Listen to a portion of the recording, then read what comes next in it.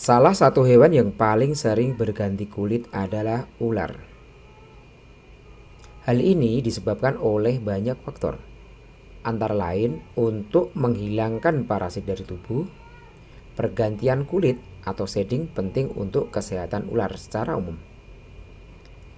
Ada beberapa tanda yang menunjukkan bahwa ular akan segera ganti kulit. Mata ular menjadi buram, ini karena pelumas yang dikeluarkan keluarkan di bawah lapisan luar kulit yang membantu proses pengelupasan.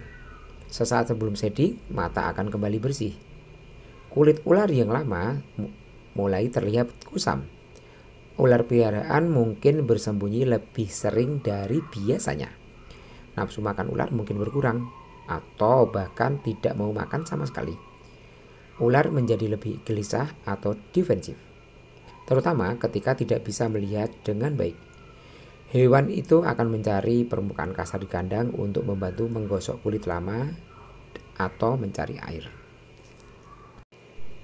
Ketika proses pergantian kulit ular, ada yang unik. Jadi, kulit ular itu berganti dari ujung kepala sampai ekor. Bahkan matanya pun ada selaputnya dia juga berganti. Jadi ini saya bantuin untuk ganti kulitnya. Itu yang depan mulai terlihat cerah yang depan yang udah berganti yang belakang prosesnya.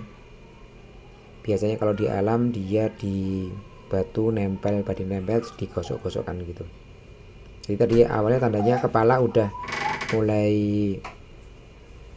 mengelupas kemudian saya bantu. Pelan pelan pelan pelan